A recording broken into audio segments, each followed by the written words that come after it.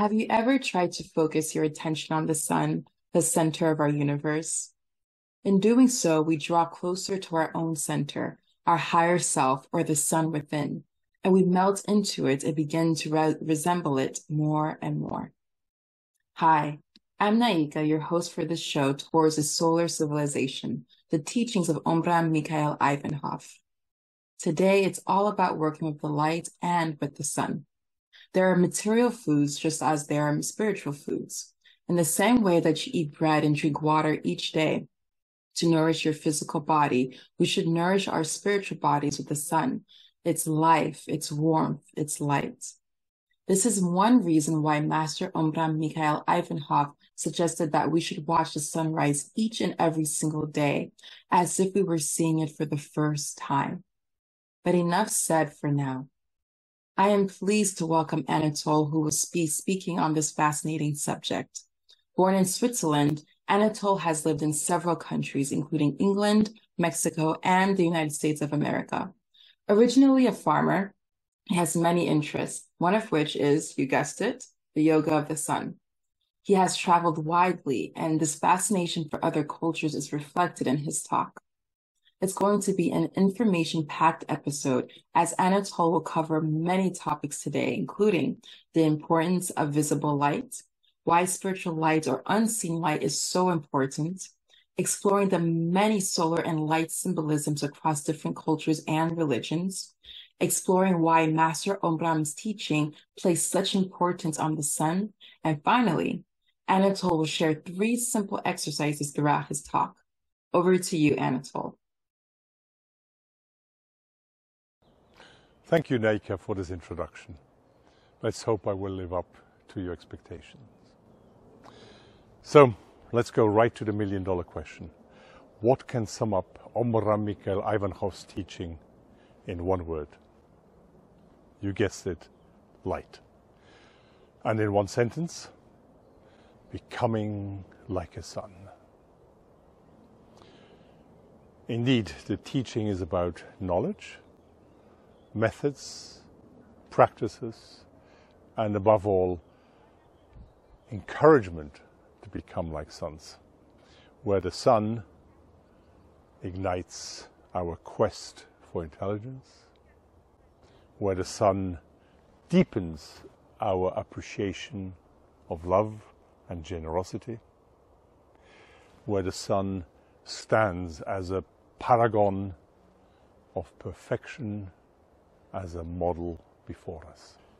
A model of wisdom represented by its light, a model of love and kindness represented by its warmth, and a model of a strong will for good deeds represented by the life it's bestowed by the sun. If we want to use the sun as a model, then we should start to talk about the fascinating reality of light. Let's shed some light on light. It is a journey through history, and that history has had an impact on our world today that is nothing short of miraculous.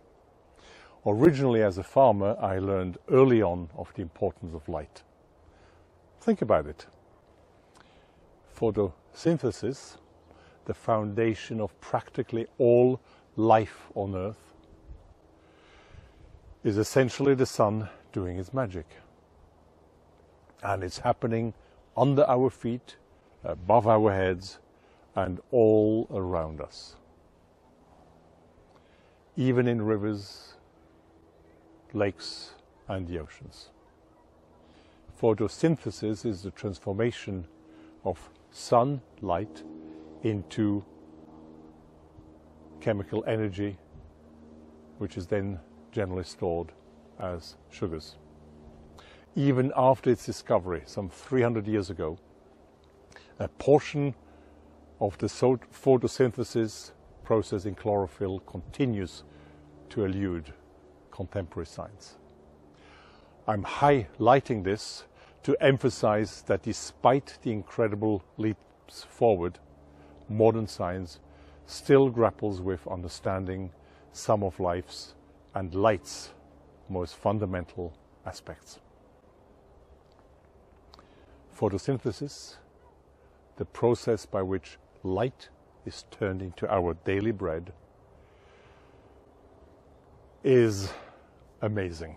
In fact, what we call the material world is nothing but light interacting with our senses, with our eyes and brain. Light is all we see. Isn't it, isn't it amazing that light is all we see? We think we see solid objects, but we're not. You think you're looking at trees, flowers, roses, and the lovely face of your beloved. No. All I see is light that bounced off your gorgeous face, or light emitted by the sun or suns or the light bulb. I quote from a poem, Let There Always Be Light, by Rebecca Elson, a most original astronomer and poet born in the same year I was born, her vocation was finding and making connections in the universe. Unfortunately, she passed away at the age of 39. For this, we go out dark nights, searching for the dimmest stars, for signs of unseen things whatever they turn out to be, let there be swarms of them, enough for immortality. Always a star where we can warm ourselves.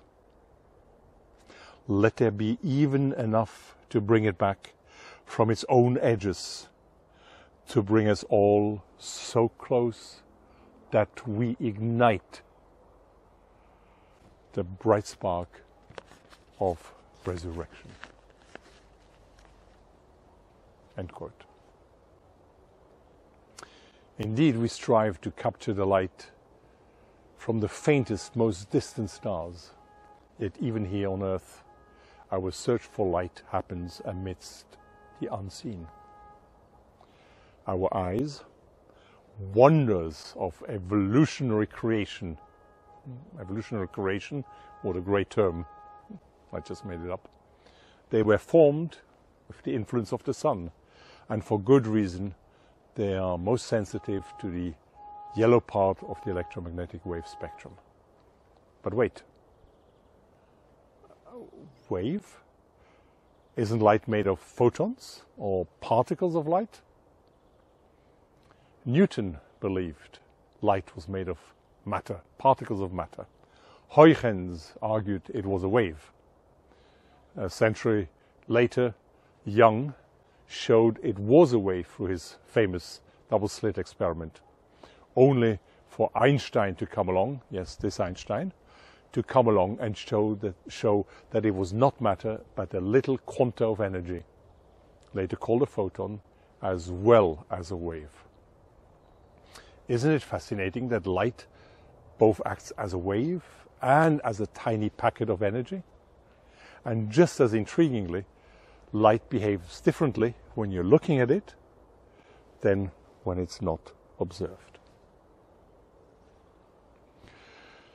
From mastering fire a million plus years ago to the Stone Age oil lamp 50,000, 15,000 years ago to Edison's light bulb in the late 19th century, light has been key to human progress. More Nobel Prizes, in fact, have celebrated light-related cell discoveries than any other topic. The first American Nobel Prize was awarded to Michelson for measuring light's speed accurately.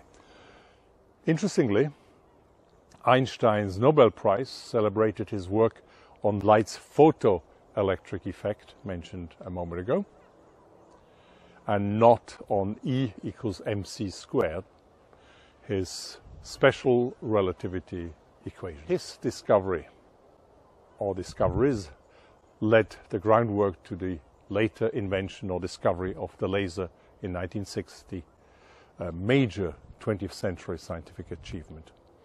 Lasers are intense, precise, powerful light beams.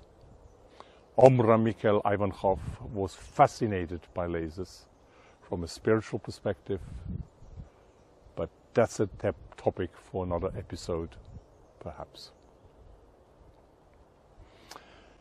Indeed, the groundwork for the laser earned them a Nobel Prize in 1964. And by the way, just last year, 2023, light research clinched another Nobel Prize. Understanding light from a physical standpoint is crucial to nearly all modern technologies, from compact discs to computers, from smartphones to solar panels, from GPS to genome sequencing. In medicine, light is fundamental to laser surgery. Current research is looking at light as a potential Alzheimer's cure. Light is crucial for regulating sleep, treating depression, preventing suicide, and shaping human interactions. Let's summarize this brief overview of the physical importance of light. No sun, no light, no light, no life. What about spiritual light or the unseen light? Light's most precious qualities shine in the spiritual realm. Light is a profound universal symbol of goodness and divinity. It embodies the triumph of good over evil. It symbolizes purity and spiritual awakening. As such, light embodies a universal force, fostering a sense of collectiveness, unity, and brotherhood across different spiritual paths. Light reminds us of our collective human quest for meaning and for truth, attainable not through ordinary means, but via spiritual practice, inner awakening, and sometimes divine grace. I quote Omraam Mikhaël Aïvanhov. By leading you to the sun, I'm leading you to the Christ, the Spirit of the Son, who said of himself, I am the light of the world. The light that lights up the world is that of the sun. But it is important to understand that above and beyond the visible light of the physical sun, there is another light, which is the true light of the sun. The Bulgarian the Bulgarian word for this light is videlina, from a root which means to see. I have already talked about videlina, the invisible inner light, which we distinguish from svetlina, which is derived from a root meaning to shine. It is svetlina that enables us to see physical objects, but it cannot make the invisible realities of the psychic world visible to us. For this we need Videlina. And to obtain Videlina, we must establish a close bond with the sun. For even though it is invisible, Videlina also comes from the sun. Videlina is subtler and richer than visible light. And it takes years and years of work meditation, prayer, and contemplation of the sun to possess even the most minute quantities. But once we possess it, it enables us to see the invisible world and all its inhabitants. End quote. For Omraam, unseen light is central to his teaching. Visible light, or Svetlina, as we've seen, is essential for our existence and everything around us. Light in the form of tiny energy packets is the foundation of matter in its most delicate, subtle form. What we call matter, in fact, is essentially highly condensed, concentrated light.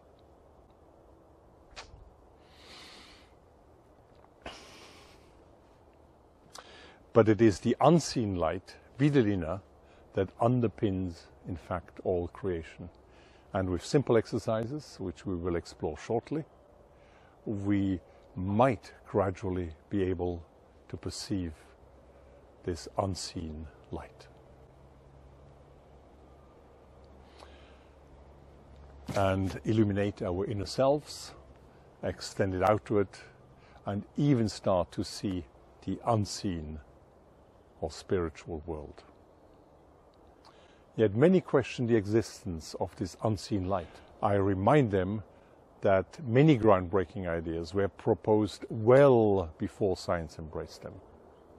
The shift from a geocentric worldview, where the Earth is the center of the universe, to a heliocentric worldview, where the Sun is the center of the solar system, is a prime example. It took 1,800 years from Aristarchus of Samos, passing through, through Aryabhatta in India, until the idea that the Earth orbits the Sun was again revived by Copernicus in the 16th century. But even then, this game changing idea faced resistance from the Roman Catholic Church and it was not until Galileo Galilei and Kepler again worked on it that the heliocentric model become, became to be widely accepted. Decades after Copernicus, millennia, millennia after Aristarchus, whose adversary of sorts was Ptolemy with his geocentric or arguably egocentric, egoistical worldview. This new heliocentric worldview completely reshaped our understanding of the world, and our place within the entire cosmos. Its impact was profound and profoundly altered the course of human thought and progress and history. Even today, modern science has much ground to cover in catching up.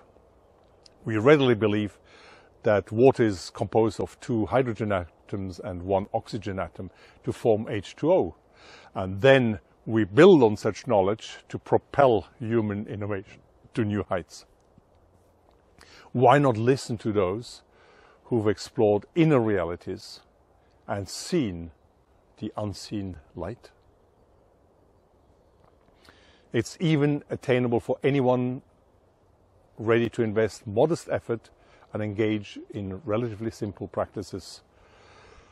Practices that help me tackle life's challenges, resolve inner conflicts, confront my demons, and slightly improve my generally bad behavior. Or so I hope to believe. As a scientist, I have no difficulty embracing certain concepts not yet accepted by modern science. Why? Because such beliefs open our senses to the inspiration of other realities. Consider, for example, light. The light, light is a form of radiation of the electromagnetic spectrum. Only a tiny fraction of that spectrum is visible. We don't see radio waves nor microwaves.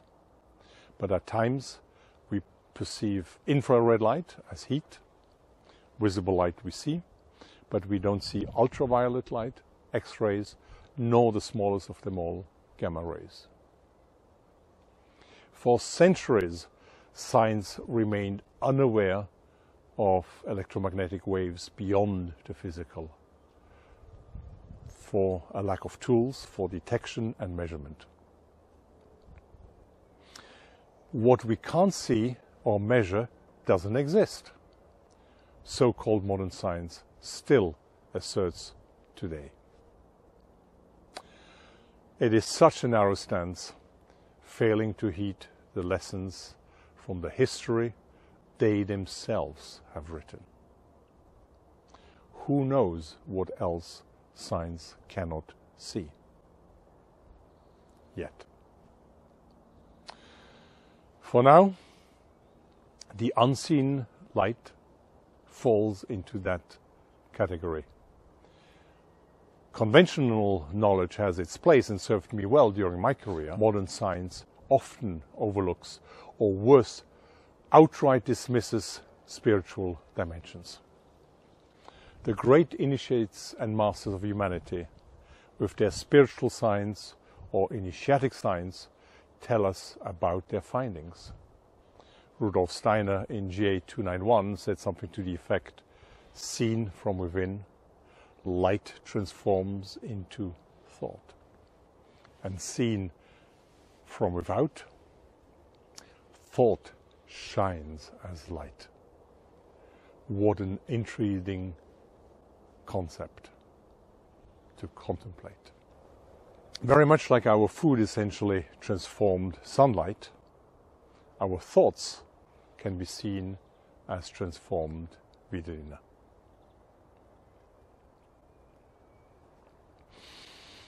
Let's do a brief exercise starting with visible light and extending it later to the unseen light.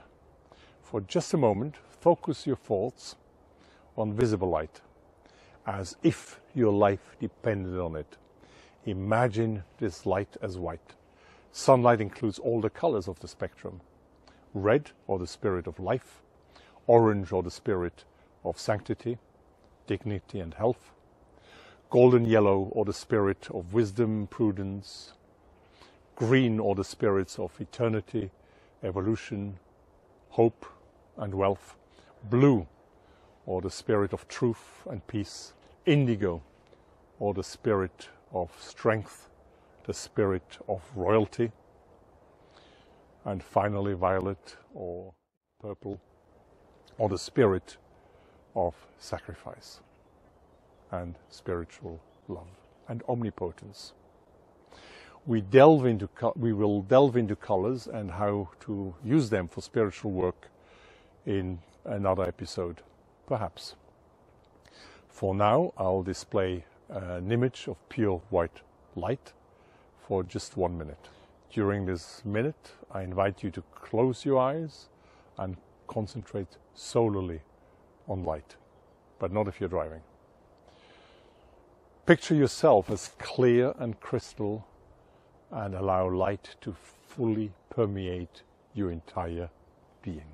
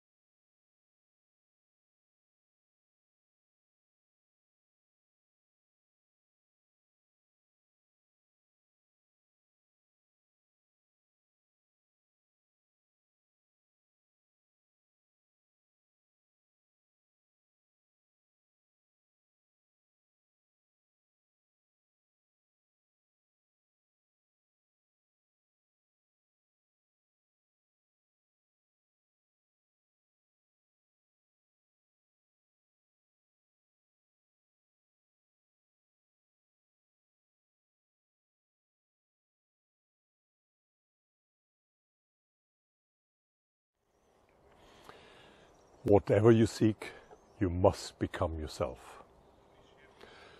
Please share below how you feel after this exercise now, and more importantly, after practicing this exercise several times daily for at least a week. I'm truly eager to hear about your experience with it. Later in this episode, we'll delve into more exercises involving light. Hi, I hope that you are enjoying this fascinating talk about the sun. We're going to take a brief break.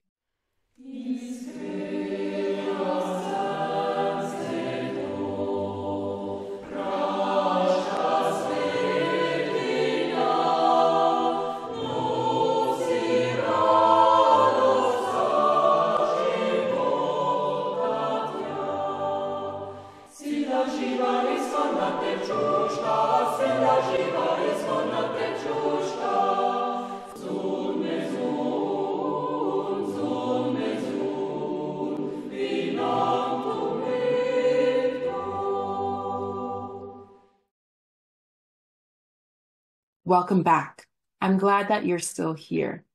The second part is going to be equally as action packed. Stay tuned because this episode is going to end with an all important prayer at sunrise in the Master's own voice. As a quick reminder, the next episode in two weeks will be about the importance of collectivity's power and benefits. And finally, in one month, Anatole will return and share his interview with a range of people from all over the world, from Africa and Asia, North and South America, and even Oceania, and how they experience Omraam's teaching in everyday life. Back to you, Anatole. I cannot wait to hear the rest of your talk. And thank you for joining us. I am your host, Naika, and I will see you in two weeks. Thank you, Naika.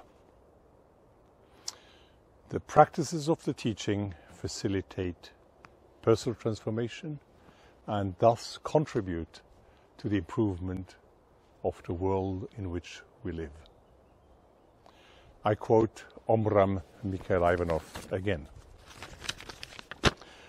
Your ability to focus on lightful objects will save you from all situations, even when you leave this life because this ability persists even after your death, for it does not come from the brain, it is only reflected in it.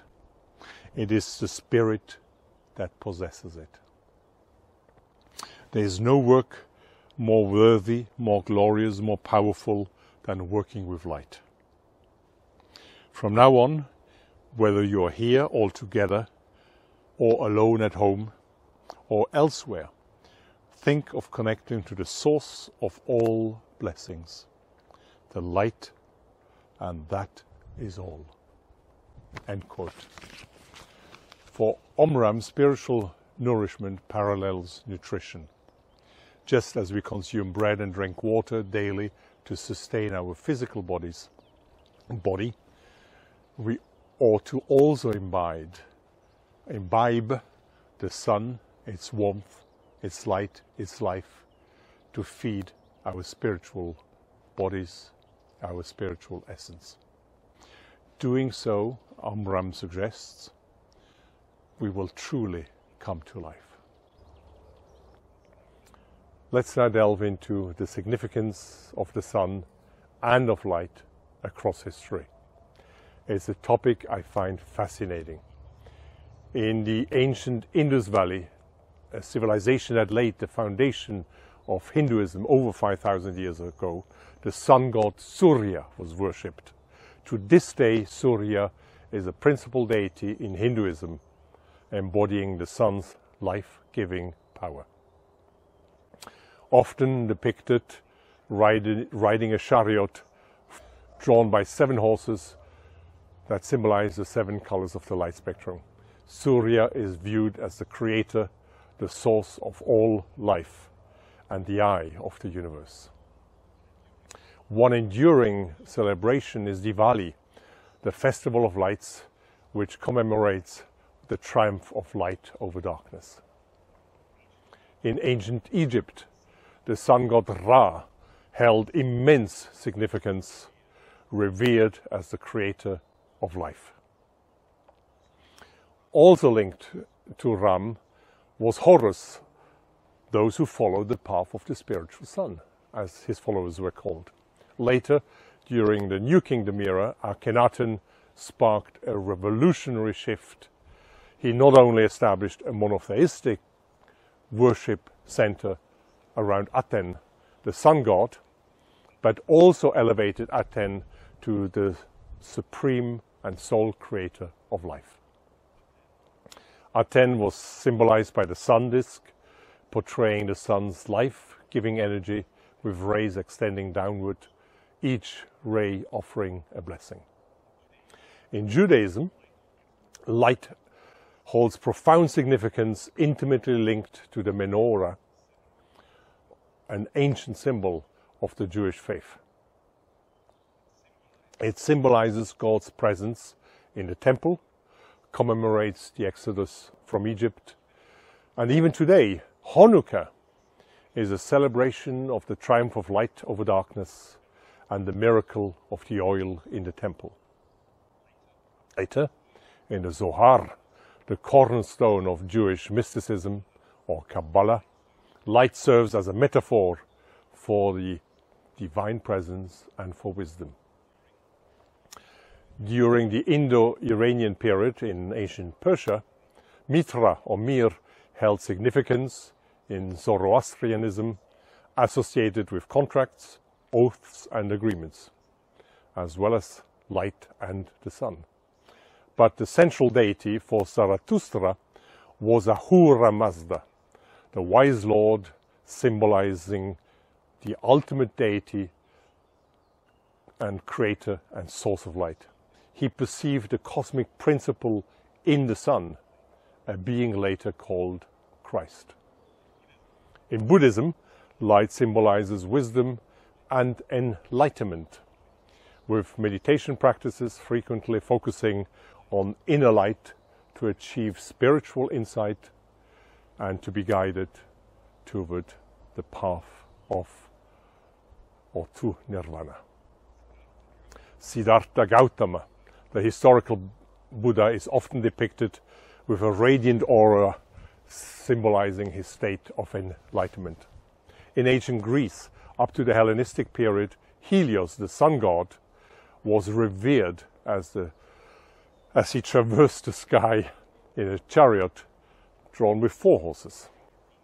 During the Roman Kingdom, Republic and Empire, worship of the sun gods and the symbolism of light held significant sway, reflecting religious beliefs and also political power. Sol Indiges, the indigenous sun, essentially referred to Helios of Greek mythology. And later Sol Invictus, the unconquered sun, were both important symbols for the Romans. Although there's evidence that religions were practiced in China since Neolithic times, Taoism is unique among major world religions.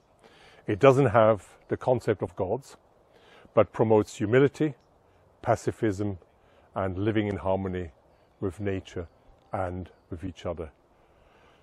And Taoism also has the sun. It teaches that two forces, yin and yang, together produce everything in the universe. The moon expresses the cool, dark, feminine force of yin, whereas the sun expresses the hot, bright, masculine force of yang. The two principles together produce harmony and order in the entire universe and wealth and peace in a nation. Before we continue with Christianity, Islam, Shintoism and many, many more, let's break with another brief exercise. We will try to harmonize our breath with our thoughts. And I quote Omraam again. You inhale, thinking that you're drawing in the light, and you exhale, thinking that you're projecting it onto yourself, onto your organs, onto all your cells. Then you inhale again and exhale. Very quickly, you will be able to see how this exercise acts beneficially on you. You will feel relaxed and in peace. End quote. For one minute, let's inhale. let's inhale, thinking of drawing in light, and exhale, thinking of projecting light.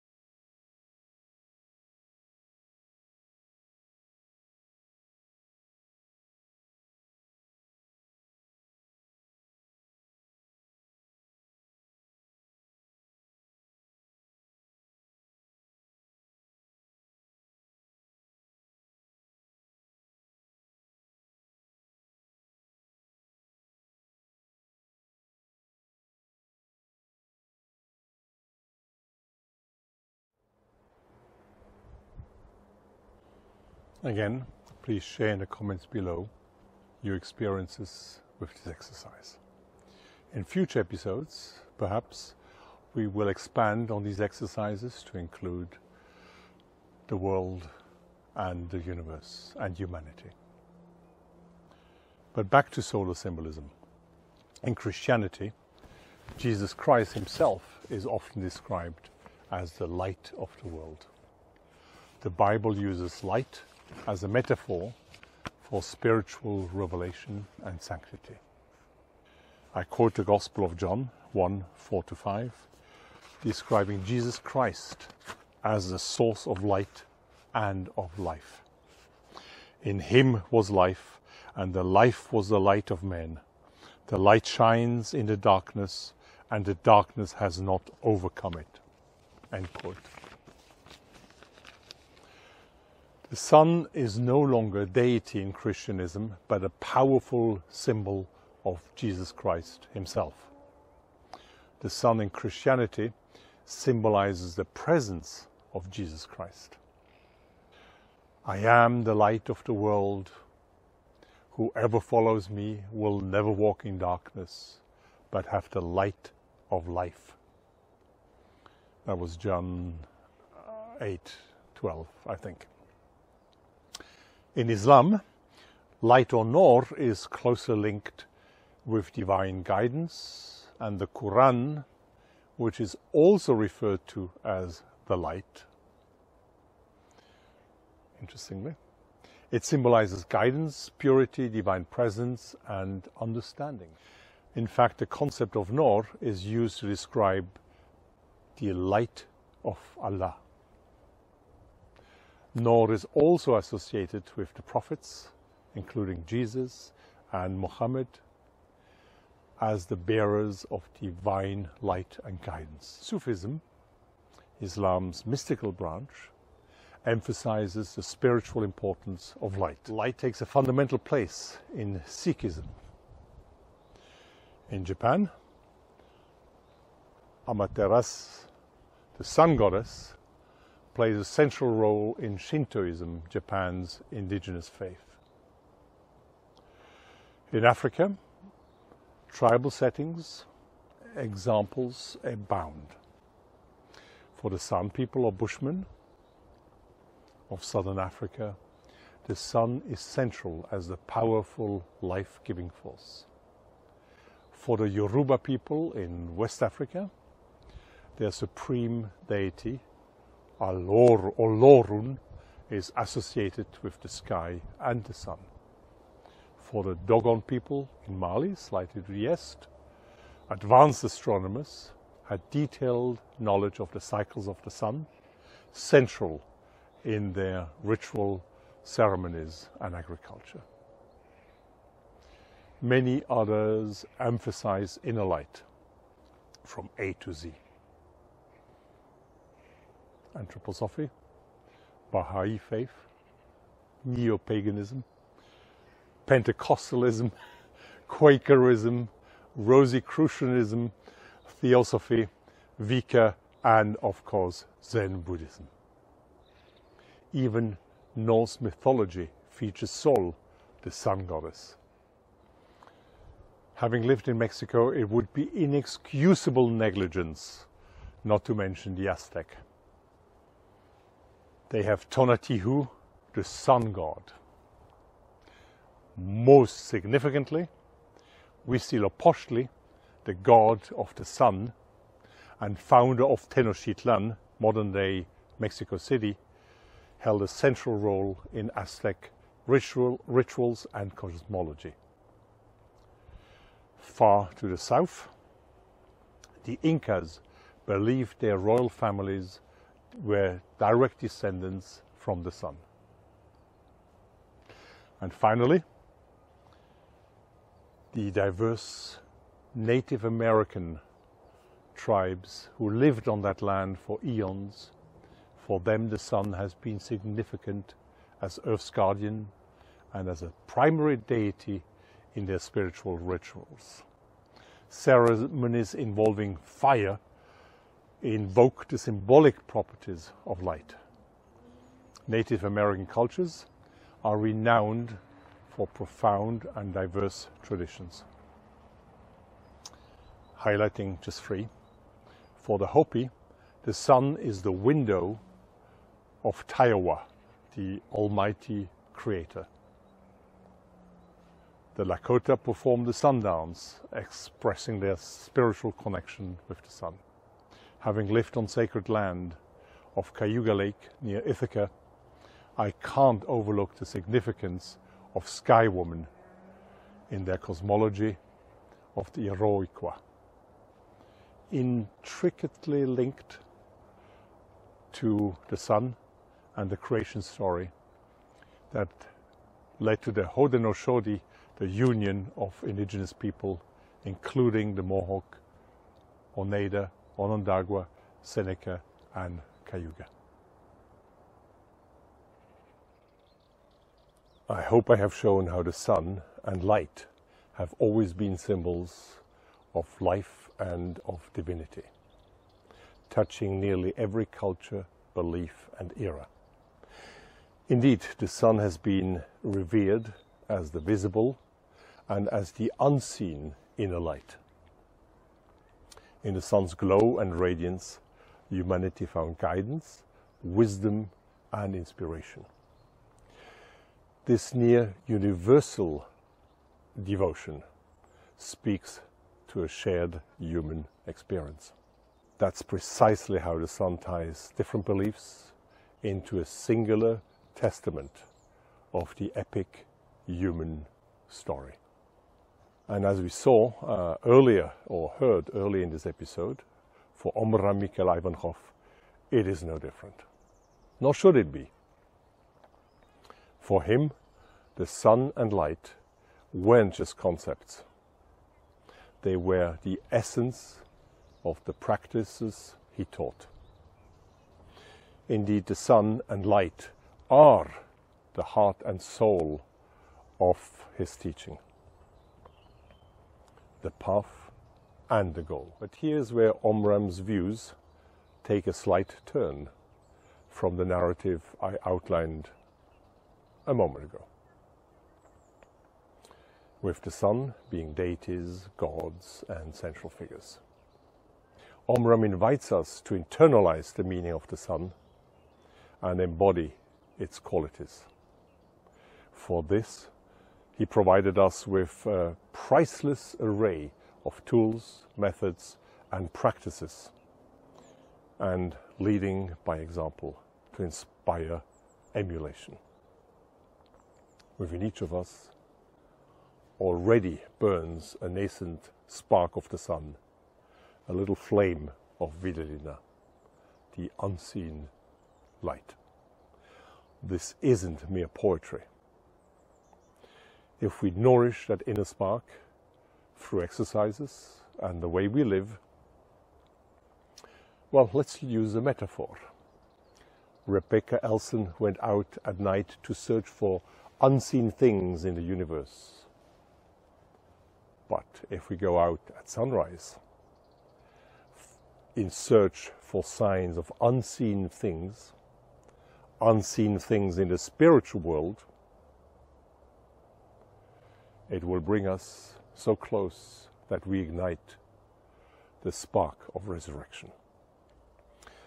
Much like Rebecca Elson's groundbreaking work in astrophysics, connecting us with distant stars, this inner light will guide us to connect with and embrace the essence of humanity. It will manifest itself through the expansion of our consciousness, setting the foundation for a true understanding of brotherhood within and without. To conclude, because the sun and light have been the most ubiquitous symbols in practically all cultures and religions. The sun is the very symbol that unites us all.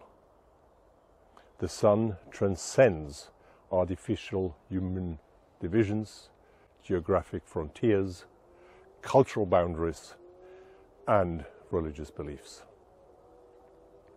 Understanding this simple truth will ignite a monumental shift, propelling us into an unparalleled golden age, a new era of enlightenment.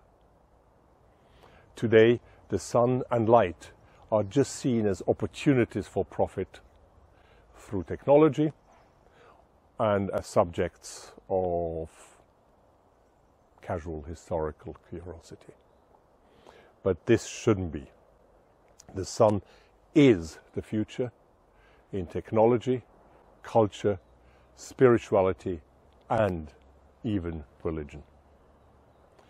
So much so that Omraam Mikhaël Aïvanhov spoke of the advent of a new solar and universal religion. The only genuinely universal religion must be solar for the language of the sun is the only enduring universal language understood by all. With its light, warmth and life, distributing these gifts impartially to all human beings, like a trinity, light, warmth and life, intellect, heart and will, thinking, feeling and doing. Embracing the sun both as a model of perfection out there and working on an inner embodiment of its qualities. This concept signals a transformation that will have far greater impact than the shift from geocentricity to heliocentricity. Most importantly, this new worldview suggests that all peoples, cultures, religions will continue to practice their faith, but will now be enriched by a unifying light.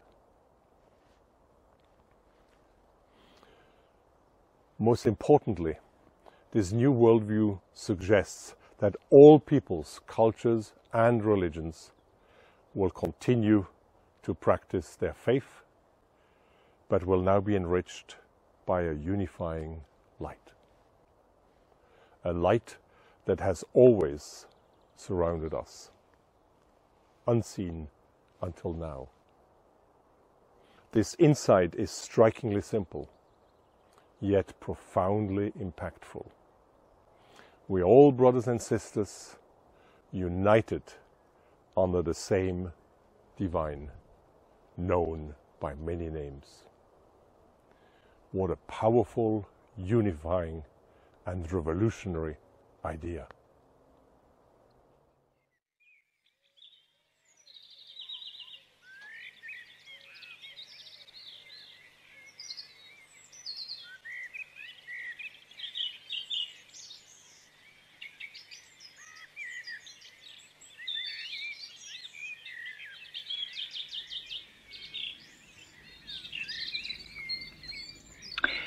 Et maintenant, mes chers frères et sœurs, voilà les quelques, les quelques paroles que vous pouvez utiliser en regardant le soleil. Alors, étant bien préparé de la veille, étant calme avant le lever du soleil, déjà avoir fait le nécessaire euh, pour recevoir ces rayons et vibrer. Alors on attend le premier rayon avec amour et on prononce en lui-même.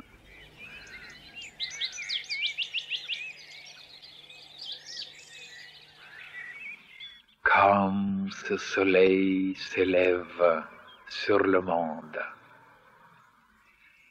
ainsi qui s'élève le soleil de la liberté, de l'immortalité, de l'éternité, de la vérité dans mon esprit. Comme ce soleil s'élève au-dessus du monde, que de la même façon s'élève dans mon âme le soleil de l'amour, de la bonté et de l'immensité. Comme ce soleil s'élève au-dessus du monde, de la même façon que le soleil de l'intelligence, de la lumière, de la sagesse s'élève dans mon intelligence.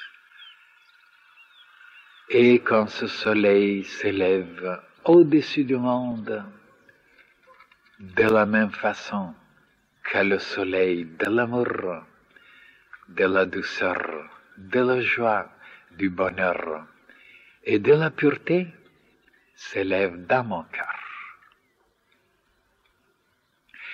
Et comme ce soleil lumineux rayonnant s'élève au-dessus du monde, de la même façon que le soleil de la force, de la puissance, de l'énergie de dynamisme de l'activité s'élève dans ma volonté. Comme ce soleil lumineux, rayonnant, vivant s'élève au-dessus du monde, de la même façon que le soleil de la santé, de la vigueur, de la vitalité s'élève dans mon corps tout entier. Amen, ainsi soit-il. Pour le royaume de Dieu et sa justice. Amen, ainsi soit-il pour la gloire de Dieu.